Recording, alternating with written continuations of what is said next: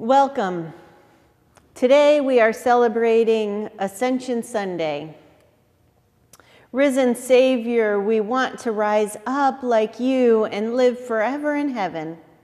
By your grace, make this not only our dream, but our truth for always. So, today, as Ascension Sunday, means that next week is Pentecost. And on Pentecost, we celebrate the Holy Spirit, and it's traditional for us to wear red. So even though we won't be able to gather together in person, I still encourage you to wear red.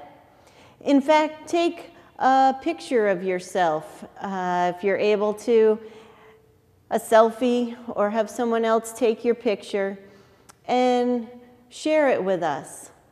Let us see that we are the body of Christ together.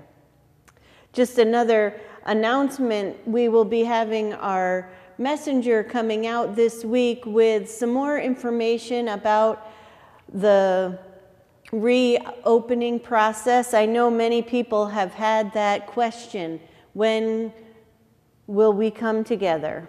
So look for that. And as always, if you have questions or comments, concerns, prayer requests, or just want to chat, give me a holler. I'd love to hear from you. Now let us begin our worship time. Our call to worship today comes from Psalm 47. Let us read responsively. Clap your hands, all peoples. For the Lord, the Most High, is to be feared. A great ruler over all the earth. Who subdued peoples under us and nations under our feet. Who chose our heritage for us, the pride of Jacob, whom God loves. God has gone up with a shout. The Lord with the sound of a trumpet. Sing praises to God, sing praises. For God is the ruler of all the earth. Sing praises with a song. God reigns over the nations. God sits on his holy throne. The princes of the people gather as the people of the God of Abraham. For the shields of the earth belong to God, who is highly exalted. Our hymn for today comes from the hymnal number 454, Open My Eyes That I May See. We will sing verses 1 and 2.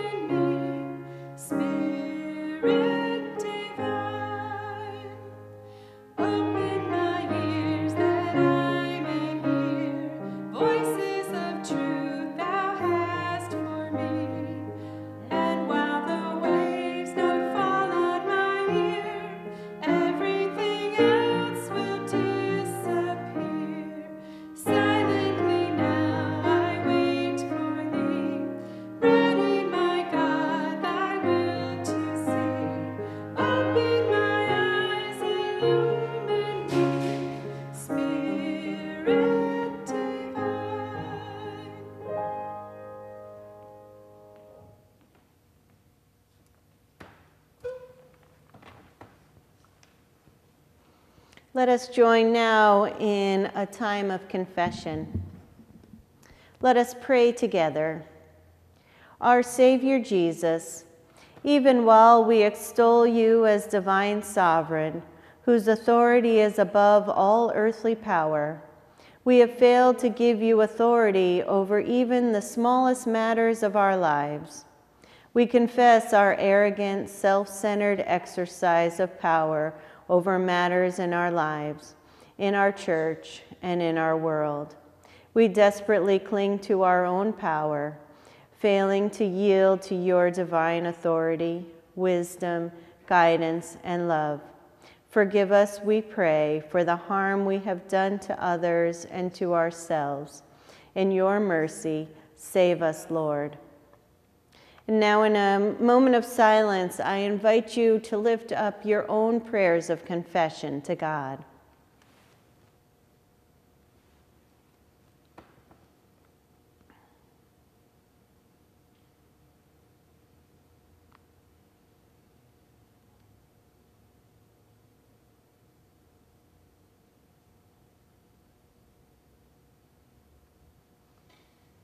Jesus said to his disciples before he ascended to God Repentance and forgiveness of sins is to be proclaimed in my name to all nations. Repent then, followers of Christ, and allow Christ to transform your lives. Receive forgiveness in the name of the risen Savior. Amen. And now let us join our hearts and voices together as we pray the prayer that Jesus taught us. Our Father, who art in heaven, hallowed be thy name.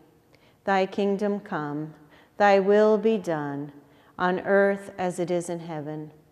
Give us this day our daily bread, and forgive us our trespasses as we forgive those who trespass against us and lead us not into temptation, but deliver us from evil.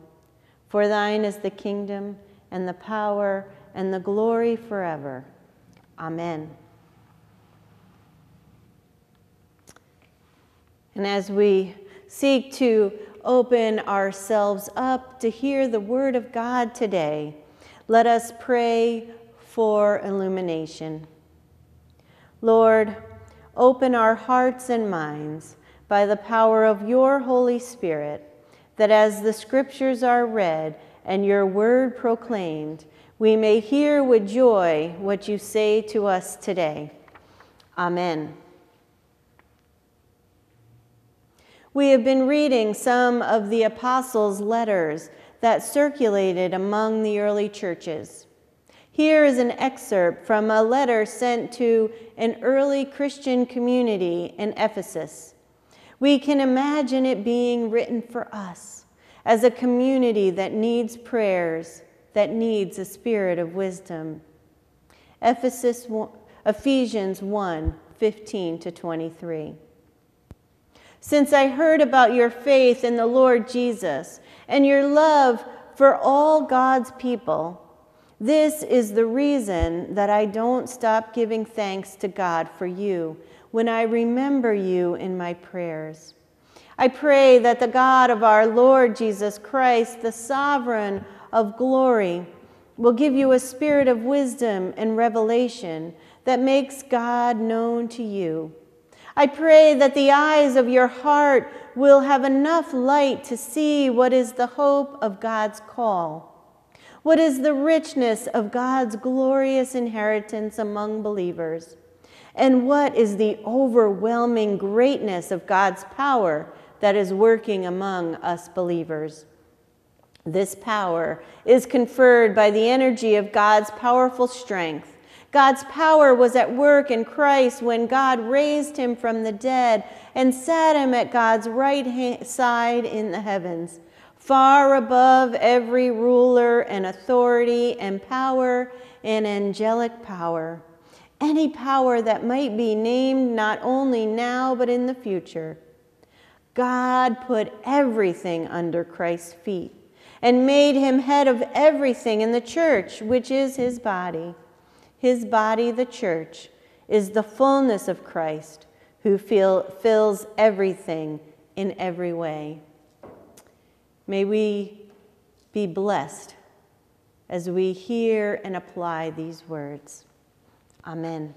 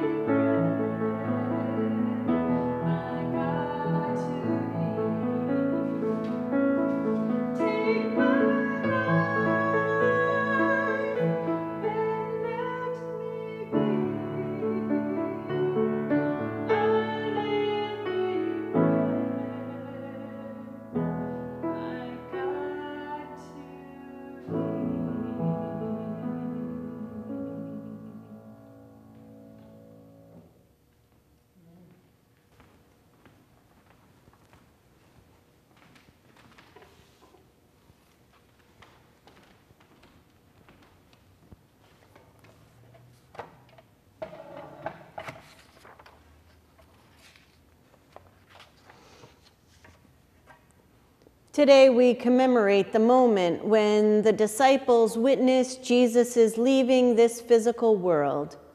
He had spent some quality time with them, helping them understand more about their faith and the continued mission that they must now carry on in the world.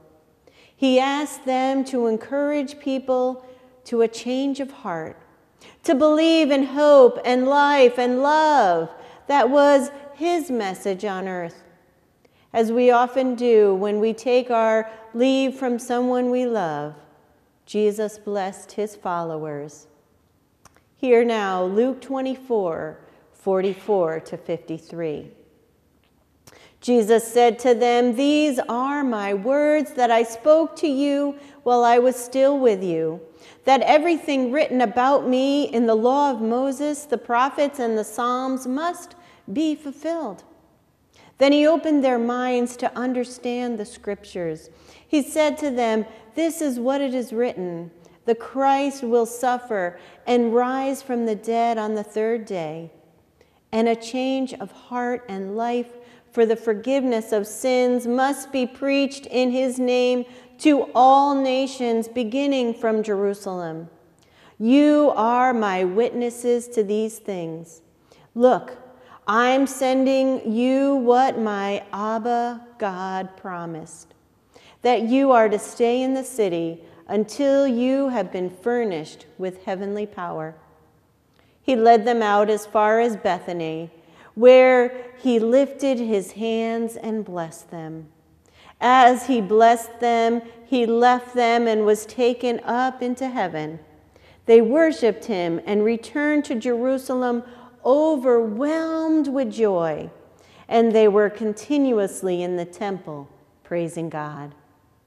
This is the word of the Lord. Thanks be to God. Let us pray. Open our eyes, open our minds, open our hearts oh God, to your message. Whatever way you deem appropriate, come in, for we are ready and willing to hear it. Amen. At the Emmaus retreats that I'm in, involved in with the youth through southern Connecticut, one of the songs we like to sing is a praise song, Open the Eyes of My Heart. Open the eyes of my heart, Lord, we sing. I want to see you high and lifted up. And then it goes on later to say, Pour out your power and love as we sing, Holy, Holy, Holy. I feel a little bit silly, but all the times I have sang this song, I have never associated it with Ascension Sunday until now. Yet it does make perfect sense for my prayer for us today as we remember and commemorate the day Jesus left earth is that the eyes of our hearts will not only be opened, but that Jesus' power and love will be poured out upon us. Over the last couple of weeks, we have heard Jesus giving a promise to the disciples, telling them that he will be leaving them, but that they won't be left alone. He also has given them his peace and his blessing. As he is ascended, he blesses them, and they return to Jerusalem with great joy, and they praise God in the temple. They have every reason to be sad, angry even, for first Jesus dies and they're devastated. Then he comes back only to leave again in 40 days. Yet, because the eyes of their hearts have been opened through their remembering of his promise and the power of Jesus' love, they don't return with heavy hearts or with sadness or with anger, but with joy. Yet they have not received the Holy Spirit. Jesus instructs the disciples to stay in the city. In a commentary I read by Jennifer Kaalund, an assistant professor of religious studies, I was reminded that when we read Jesus' instructions through our experiences of sheltering in place, new light is shed on the necessity of waiting. The disciples don't know how long it will be until they receive the full power of the Holy Spirit. They have no idea how long they will need to wait. Again, another reason that they could be sad or angry. Yet they go back and devote themselves to prayer. Waiting is rarely easy. And it can be even more difficult to endure when you do not know when the end will be. The beginning of Acts provides a glimpse into what is happening.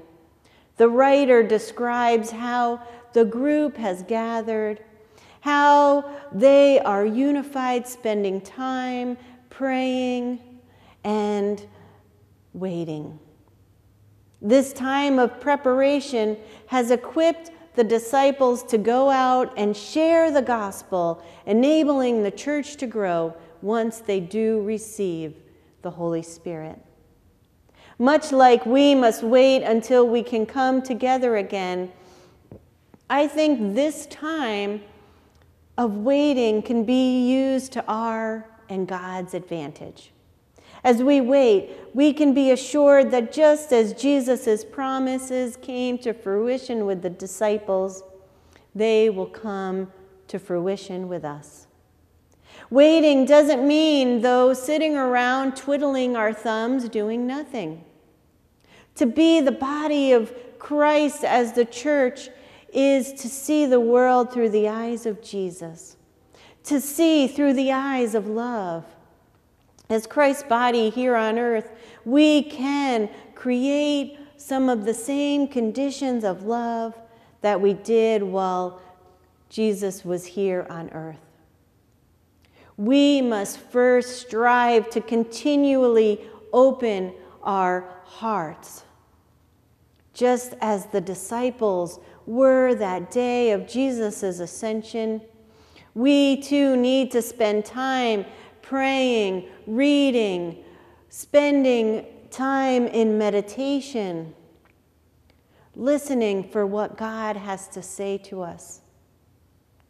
Something I've noticed over the last couple weeks, now that it's becoming warmer, I've opened up the windows in the parsonage and the birds seem so much clearer. I can hear their chirping. I can hear the rustling of the leaves with much more clarity than I could previous. There's not as much noise pollution. It's also so beautiful to look around, and everything looks so green. The beautiful tulips that we saw, the irises are coming out now. This time of waiting and this time of staying in our own spaces has allowed creation to be a little more full, which has helped me to see Christ in a new way as well. And so once our eyes are open, our hearts are open, we can then share that with others. Perhaps we can see ascension with Christ as an elevation or a heightening of our gratitude, of our commitment to do good in the world. When our level of love goes up, our level of appreciation and gratitude goes up, and that can help others. So I invite you to look around, to use all of your senses look, hear, feel, see around you what you might have seen or heard before, but see it with a new sense of gratitude. And then, who do you think needs to hear that word of encouragement? Who needs an extra prayer, an extra lifting up, if you will? Reach out and share.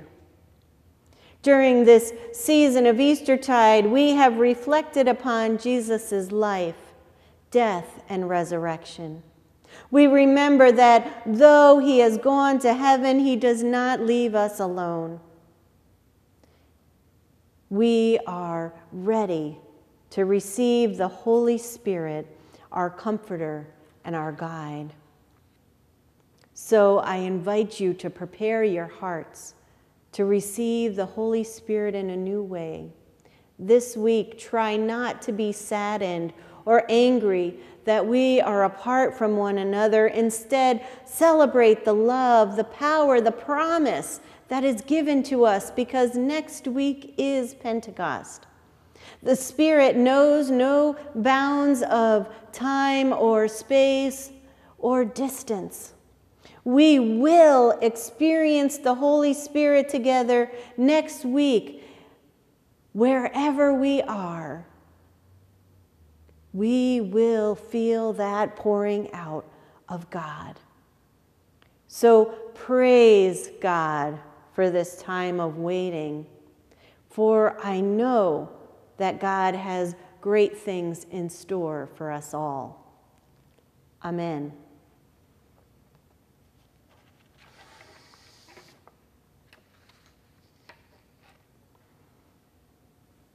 I think that if Jesus was giving directions to his disciples today, they may, might sound something like this You will be my witnesses to the shoreline and the valley, to all of Connecticut and New York, and to the ends of the earth. One way we become Christ's witnesses is through our giving. Some of our gifts are helping people in Jesus' name locally, right here through the Clinton Food Pantry. Some of our giving reaches into our state through our connectional giving. Some of our gifts reach far into the world in the name of Jesus to support things like UMCOR. Thank you for your generous and joyful gifts so that we can continue to feel, fulfill Christ's call to be his witnesses and to be his hands and feet. Let us now share our offerings.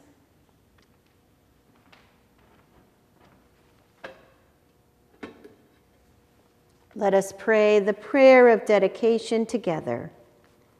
Bless our gifts, O Lord of all, that we might worship you with great joy and serve your people with great love.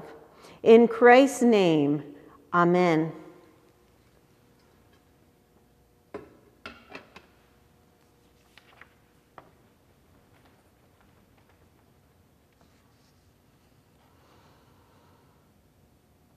Let us continue to be in an attitude of prayer as we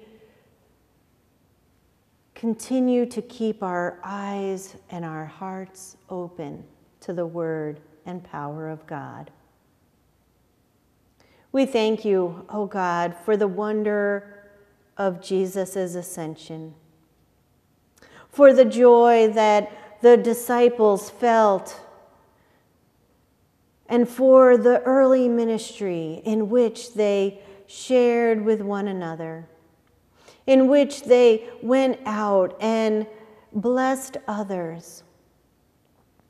Oh God, we thank you that through his ascension, Jesus was set free to be Lord of all and is no longer bound to a particular place or time, but with us always.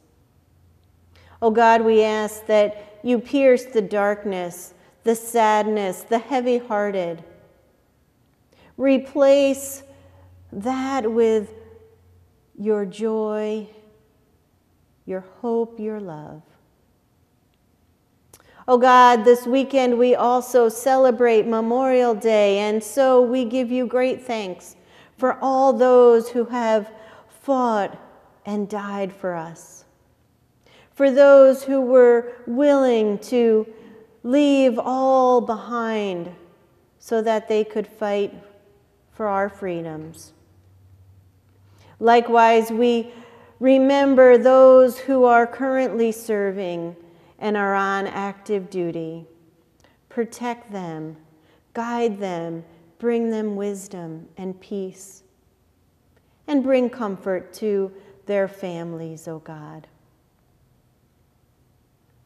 Bind us together through time and space and hear all the prayers we lift up now in the quiet of our hearts.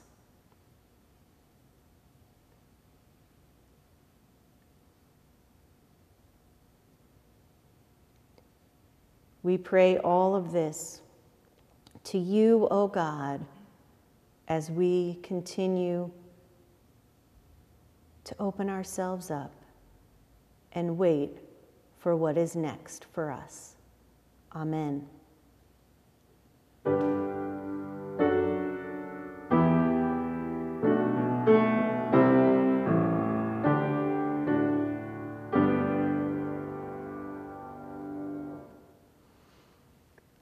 And now may God, the glorious Father of our Lord Jesus Christ, give you spiritual wisdom and insight so that you may grow in your knowledge of God. May Jesus continue to flood your hearts with light so that you may comprehend the confident hope that he gave to those he called his promises do come true. And so be at peace. Wait for the Holy Spirit and be surrounded by God's love and grace this week. Amen.